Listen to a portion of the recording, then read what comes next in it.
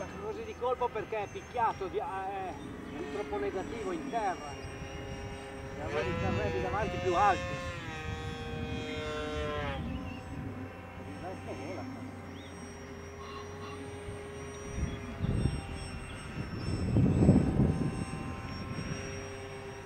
Eh, lo vedi adesso quando vieni giù.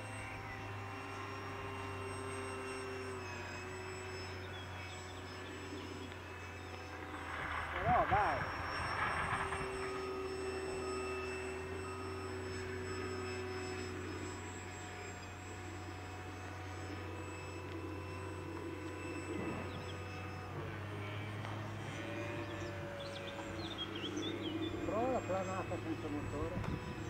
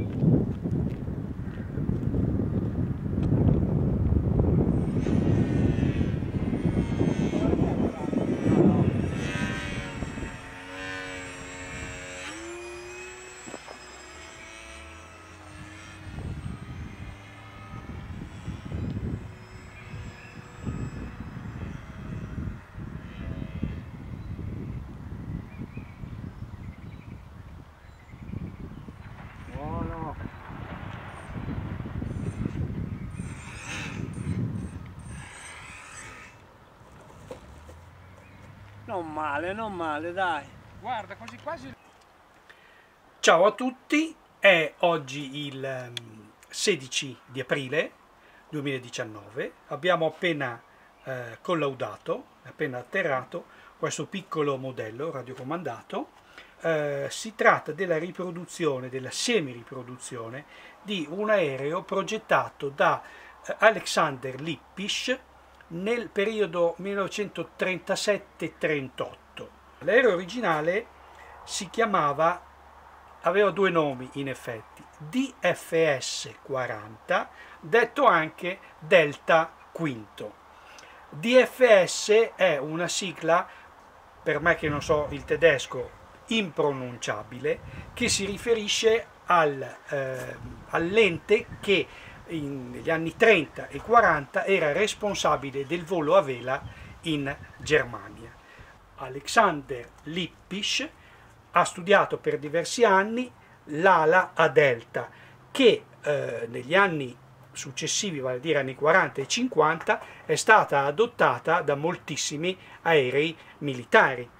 Nel modello, come nel vero, per motivi essenzialmente di bilanciamento, il motore è posizionato al centro della fusoliera e quindi si rende necessario utilizzare un albero di trasmissione che unisce appunto il motore, che in questo caso è elettrico, con l'elica posteriore spingente.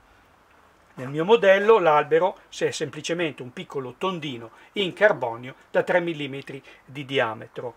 Ovviamente per cercare di eh, diminuire per quanto possibile le vibrazioni sono stati applicati due cuscinetti, eh, uno al termine vicino all'elica e uno a metà campata dell'albero di trasmissione.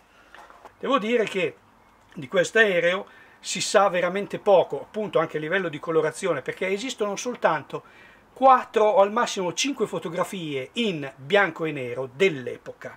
Si sa che al terzo volo, l'aereo originale, è entrato in vite e quindi si è distrutto. Fortunatamente, per quello che riportano eh, le, le poche notizie scarse che si trovano su internet, sembra che il pilota si sia salvato dal crash, però ovviamente dell'aereo non si hanno più eh, notizie di questo DFS 40. Alcuni dicono, però sono notizie che andrebbero verificate, che la stessa pianta alare e lo stesso profilo sia poi stato utilizzato su un altro aereo, il DFS 194, il quale a sua volta ha dato poi l'inizio alla serie dei caccia Messerschmitt a razzo, la serie 163.